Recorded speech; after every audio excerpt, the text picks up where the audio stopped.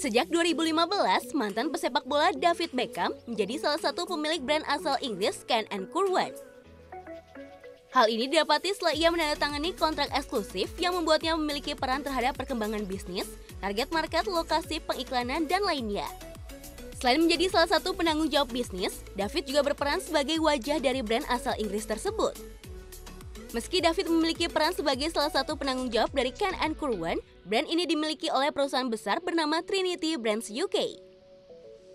Kabarnya, brand Ken Kurwan ini meraup kerugian sebesar 10,7 juta pound sterling atau setara dengan 193 miliar rupiah pada 2018.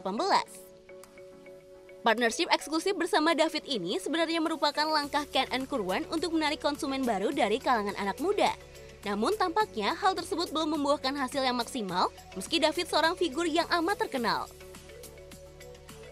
Terobosan terbaru dari David Beckham untuk brand ini adalah pembukaan gerai mewah Ken Kurwan di wilayah Covent Garden, London, Inggris, dan juga peluncuran situs resmi Ken Kurwan.